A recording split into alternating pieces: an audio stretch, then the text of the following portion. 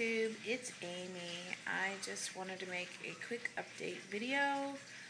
Um, this is my last video for a while until things get better for me because I can't stand making these kind of videos. But um, between coming home for the meet and greet,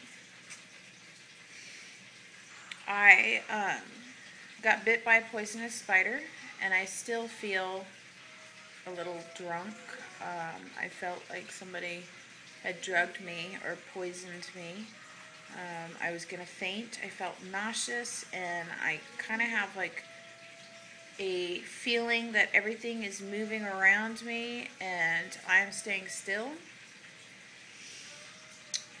On uh, Tuesday, I went to go over and see my dad and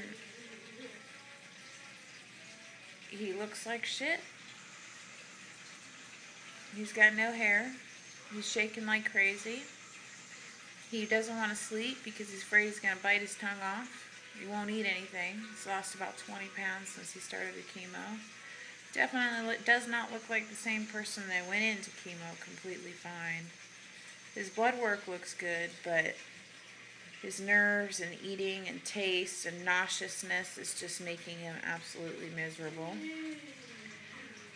While I was over at my parents' house, um, getting some groceries and stuff for them, I get a phone call from my husband that his uh, 37 year old autistic brother, that was just here three weeks ago, dropped dead in his bathroom on Tuesday morning. They, they did autopsy, but we haven't gotten a report yet. Keith was very close to his brother.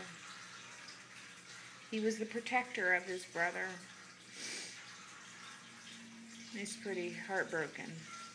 We don't know why. And he goes to a, he he used to go to a day program every day and he has upstairs their house to themselves, his bedroom and a connecting bathroom, and he didn't come down his normal time.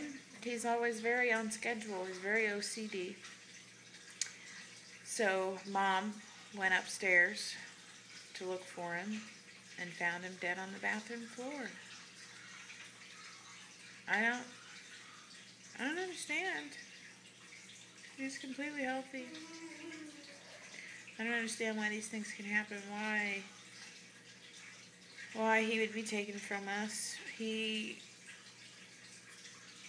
he touched a lot of people's lives. Um, he was a forever child. A very smart one. He can make you laugh. He was very care carefree. Um, Very similar to my Hazel, and it scares me to death to know, you know, that there possibly could have been something wrong that he could have shared with us, but we were unable to save his life. My husband hopped on a plane today to go out there for to put his uh, his brother in the ground in Connecticut. I'm not sure when he's coming home, so. Um,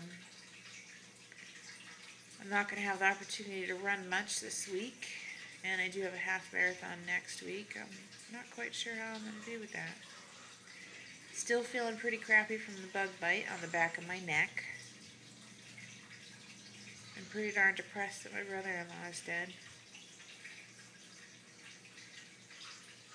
So, yeah, I'm not going to make a video until I have something positive to say. I love you guys. Thank you. Bye.